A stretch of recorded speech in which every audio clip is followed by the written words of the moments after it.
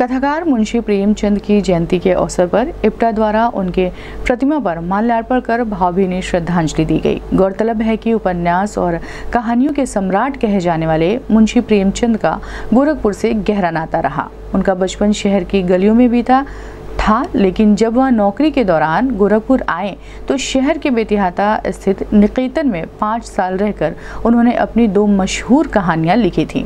धनपत राय, मुंशी प्रेमचंद, शिक्षा विभाग की नौकरी के दौरान उनका तबादला हुआ तो वह 1916 में गोरखपुर दोबारा आए। उन्होंने बेतिहाता स्थित मुंशी प्रेमचंद पार्क में स्थित निकेतन को अपना आशियाना बनाया था। उसके बाद वह इस निकेतन में तब तक रहे जब तक उन्होंने नौकरी से त्यागपत्र नहीं दे दिया।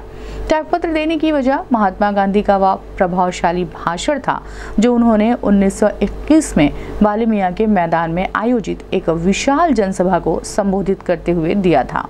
त्यागपत्र देने के तीन दिन बाद ही वह निकेतन छोड़कर वाराणसी चले गए। आपको बता दें कि मुंशी प्रेमचंद के बचपन के चार वर्ष गोरखपुर में बीते। वह इस शहर में पहली बार अठारह सौ बानवे में अपने पिता मुंशी अजायब राय के साथ आए। जो डाक विभाग में मुलाजिम थे। चार वर्ष के प्रवास के दौरान उन्होंने यहाँ रावत पाठशाला और मिशन स्कूल से आठवीं कक्षा पास की। मुंशी प्रेमचंद ने ईदगाह और नमक का दरोगा जैसी मशहूर कहानियाँ बेतिहाता स्थित निकेतन में रहने के दौरान लिखी थी। ईदगाह की पृष्ठभूमि उन्हें निकेतन के ठीक पीछे मौजूद हज़रत मुबारक खां शहीद के दरगाह के सामने की ईदगाह से मिली थी तो नमक का दरोगा की पृष्ठभूमि राप्ती नदी के घाट से लिया था। निकेतन को धरोहर मानते हुए यहाँ पार्क विकसित कर दिया गया और उस पार्क को मुंशी जी का नाम दे दिया गया है। निकेतन में मुंशी प्रेमचंद की पत्नी शिवरानी देवी की ओर से बनवाई गई प्रेमचंद की प्रतिमा उनकी याद के तौर पर मौजूद थी, जिसे 2014 में एक तत्कालीन अपर आयुक्त ने पार्क के गेट पर स्थापित करवा दिया। वर्तमान में निकेतन में प्रेमचंद साहित्य संस्थान की ओर से लाइब्रेरी का संचालन किया जा रहा है। इस संबंध में गोरखपुर न्यूज़ से बात करते हुए इप्टा के डॉक्टर मुमताज़ खान ने कहा।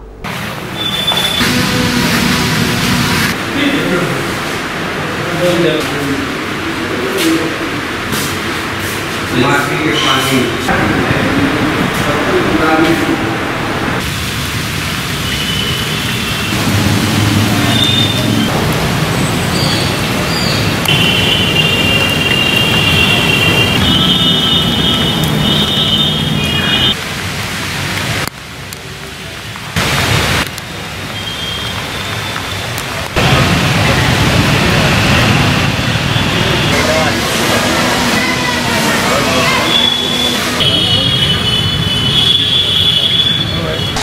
देखिए, आज प्रेमचंद जी की 141वीं जयंती है और इस अवसर पर इस महान साहित्यकार को लोगों ने अपनी, अपने ढंग से उनकी पुण्यतिथि के अतिरिक्त जन्मतिथि के आयोजन में शामिल होकर जो अपनी श्रद्धांजलि अर्पित की है तो वो एक बड़ी ही पुरानी परंपरा है। यहाँ वर्षों से ये क्रम जारी है।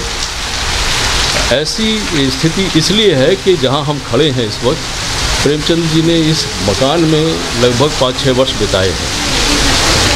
यहीं पर वो डिप्टी इंस्पेक्टर ऑफ़ स्कूल होकर के आए थे और वो यहीं इसी इसी घर में रहते थे। बहुत पहले जब वो चार पाँच वर्ष के थे तो अपने पिताजी के साथ जब उनके पिताजी का यहाँ अपॉइंटमेंट हुआ था तो उनके साथ आए थे। तो गोरखपुर से प्रेमचंद जी का एक बड़ा गहरा जुड़ाव है, बचपना यहाँ बीता और फिर उसके बाद यहाँ उन्होंने नौकरी की।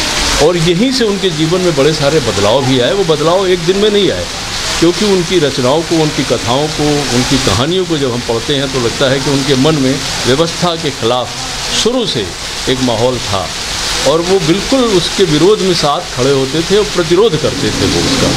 और उन्होंने एक साहित्य का जो हथियार अपनाया था, उसी के माध्यम से वो आगे चलते रहे और आज़ादी की लड़ाई में गांधी जी के आह्वान पर उन्होंने अपनी नौकरी छोड़ दी थी।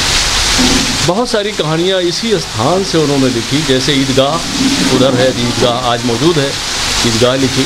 यहीं से नमक का दरोगा उन्होंने लिखा, दो बैलों की, दो बैलों की कथा लिखी। न जाने इतनी, कितनी कहानियाँ हैं जहाँ कहानियों के पात्र और कहानियों की रचना यहीं से हुई थी। दूसरी एक कहानी है सेवा सदन, ये पुस्तक है, पूरा नावल है, उपन्यास है, जो बहुत चर्चा में आया। सेवा सदन यहीं से थोड़ी दूरी पे जो नर्तकियों का एक स्थान था उनकी पीड़ा, उनकी दिक्कतों के ऊपर उन्होंने ये कहानी लिखी और वो बहुत चर्चा में आई। तो इस तरह से कह सकते हैं कि उनका रत्न सरकार जितना बृहत है, जितना बड़ा है, उन्होंने उसमें बहुत अंदर तक जाकर उसको महसूस किया और लिखा और समाज को एक दिशा और उसकी दशा पर चिंता करने का अवसर भी प्रदान किया।